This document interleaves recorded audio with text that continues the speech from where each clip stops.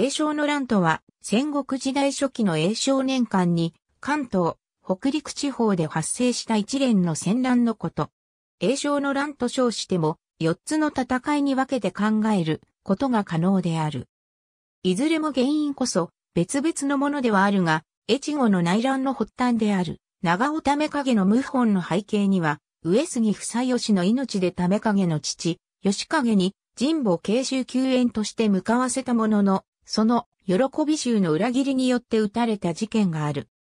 越後の内乱による関東官令、上杉秋貞の予期せぬ戦死が、三内上杉家の内紛の短所であり、その対応で、古学坊、足利正氏府氏の意見が割れたことが、内紛再燃の原因となった。さらに、越後の内乱終結後の長尾為影の国内引き締めの一環として、神保市討伐が位置づけられているため、これらの戦いは相関性の高いものであると考えられている。永正3年9月、越後市五代、長尾義景が、越中で戦死し、長尾氏の家督を継いで、越後守護代となった長尾為影が、永正4年8月、上杉貞真を擁立して、越後守護、上杉房義を吸収。関東官令、上杉秋貞を、頼り関東への逃亡を図った房義を、天水古市で丸山信澄らと共に自害に追い込んだ。これを歌んとした秋貞は、永正6年、報復の大軍を起こすと為影は劣勢となって、佐渡に逃亡した。しかし翌永正7年には、寺泊から再び越後へ上陸。為影法が犯行に転じると、坂戸城主張備防長は、上杉軍を、坂戸城には、入れず6万騎乗に収容させた。為影軍が6万騎乗に迫ると、上杉軍は退却したが、援軍の高梨生成の助力もあり、長森源の戦いで秋貞を戦死させた。この戦いで、秋貞に従軍していた長尾貞明や高山則重らも撃たれており、三内上杉家の軍事力は大きく減退した。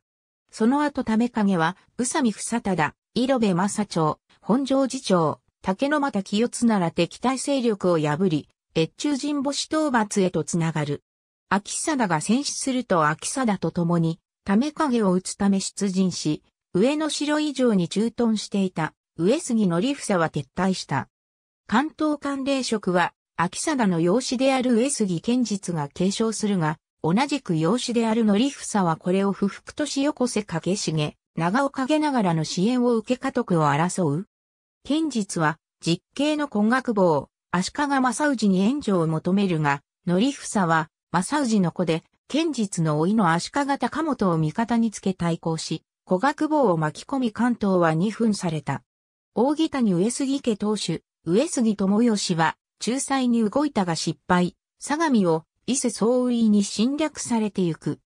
永正9年、剣実は、長尾秋方や成田健康氏らの支援を受けて、武蔵八形城に寄ったが、横瀬影重、長尾影ながらに攻められて敗北。三内上杉家当主の座を失い兄、正氏を頼って、古賀城へと逃亡した。永正12年、剣実の死によって終焉。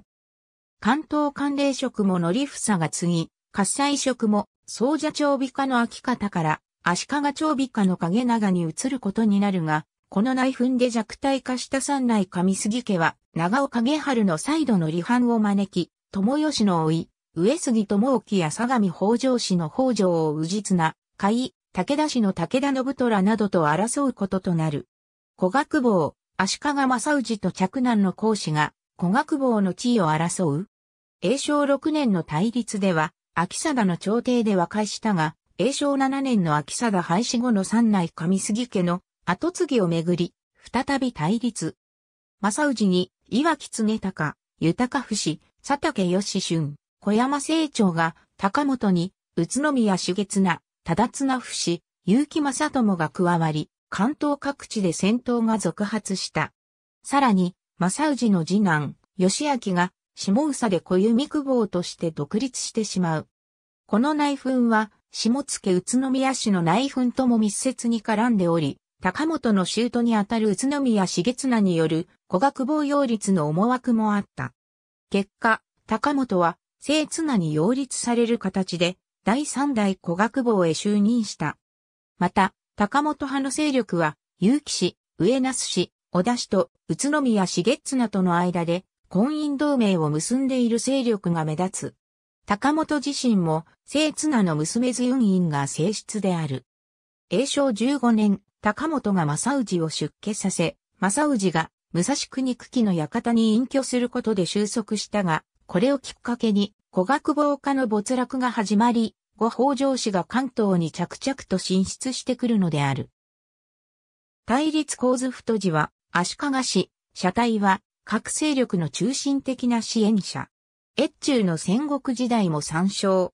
永正17年、長尾為景が父、長尾義景を死に追いやった神保慶州を能登守護、畠山義房と共に攻め滅ぼす。越中栄唱の乱とも、ありがとうございます。